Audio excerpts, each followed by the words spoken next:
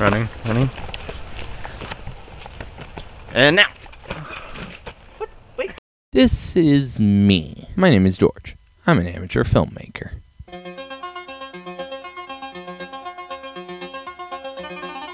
My life, I would put it as boring and uninteresting. First, I go to school, then I go to work, and then back to school, and then back to work. You kind of get the idea here. But when I'm on the computer, because of my amateur filmmaking, I am a star.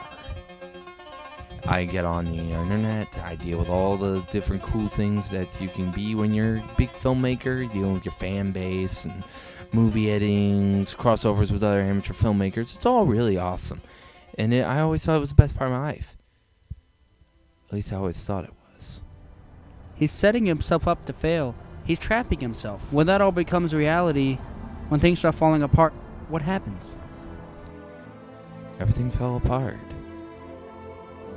I'm tired of the same routine. I see this every day with you. Just don't worry about it, man. I mean, you'll bounce back in no time. Don't worry about it. What's wrong, George? What's wrong? What's wrong? You want to really know what's wrong? Thousands of years, men have died trying to make the world a better place. But the only people that actually enjoy it are the people who don't care and won't lift a finger to help anyone but themselves.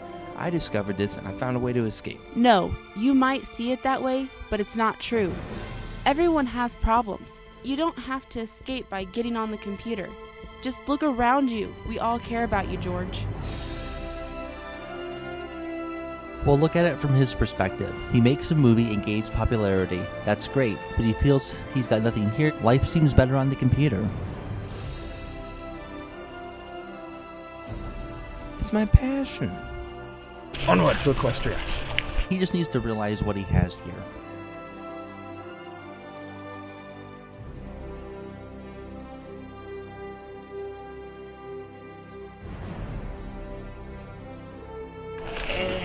Cut!